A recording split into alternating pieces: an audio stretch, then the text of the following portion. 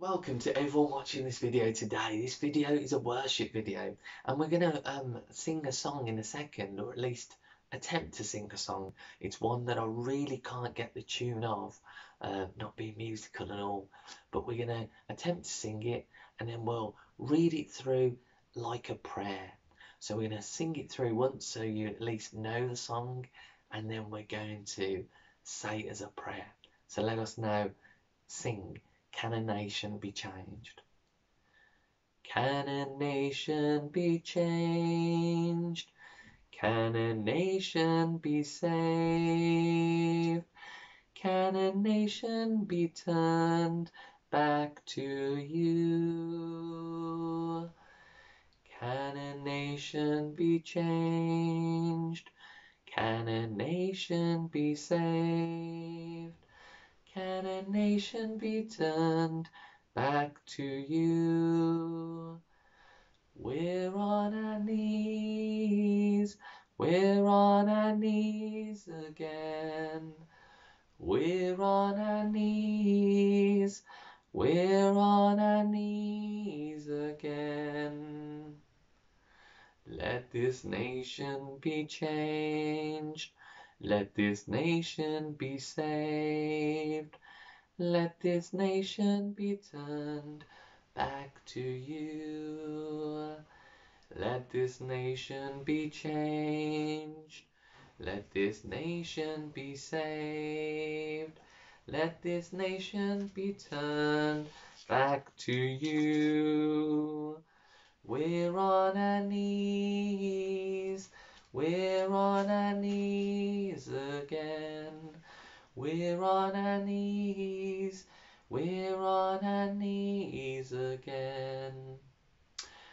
That's a rough rendition of that song, but now we're going to read it through and let this be our prayer. Can a nation be changed? Can a nation be saved? Can a nation be turned back to you. We're on our knees.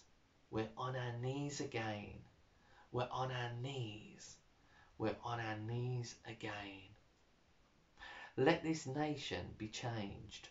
Let this nation be saved. Let this nation be turned back to you. We're on our knees. We're on our knees again. We're on our knees. We're on our knees again. And of course, that talks about the symbolism, the act of being on our knees in prayer before God. That's how we do our battle and our warfare on our knees in prayer before the Lord. And of course, a scripture passage which I will read today 2 Chronicles chapter 7 verses 14 to 16. If my people who are called by my name will humble themselves and pray and seek my face and turn from their wicked ways, then will I hear from heaven and will forgive their sin and heal their land. Now my eyes will be open and my ears attentive to the prayers offered in this place. I have chosen and consecrated this temple so that my name may be there forevermore.